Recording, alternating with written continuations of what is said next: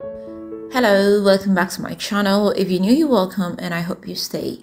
Today I'm going to show you how I fry my very delicious fish. Without wasting time, let's just get started. As you can see, I've got about two medium-sized fish over here. It's been cleaned very well and ready to be prepared.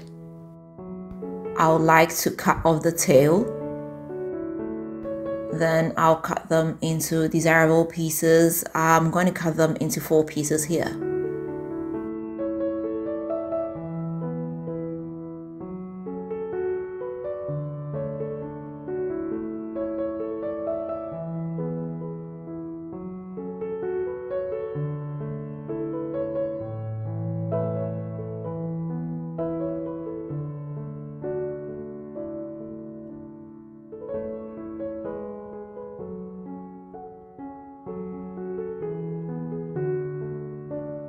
So after cutting everything, this is what we have here. It's time to season it up a bit.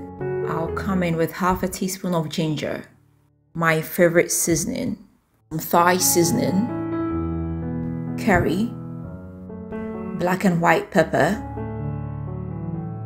dark soy sauce, salt to taste.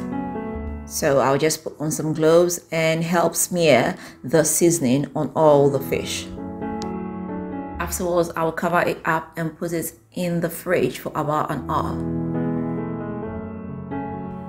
Now I'll get a pan and put it on medium to high fire. I'll come in with some sunflower oil.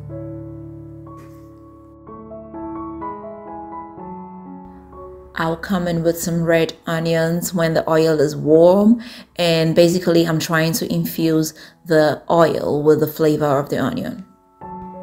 I'll fry the onion in the oil till it starts turning brown. When it starts turning brown, I'll just get them out of the oil.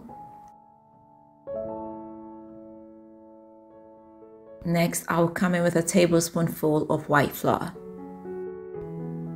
I will let this fry for about 30 seconds. And finally, I will drop in my seasoned fish. So I'll fry each side till it turns golden brown one side is ready, I'll just flip them over and fry the other side as well.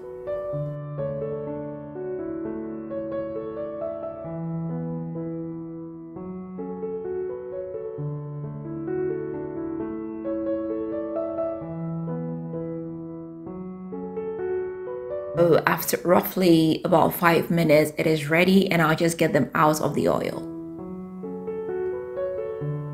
And finally, our fried fish is ready. This is how I fried my fish and it's super delicious. Now this is ready for any soups or stews you might want to use them for.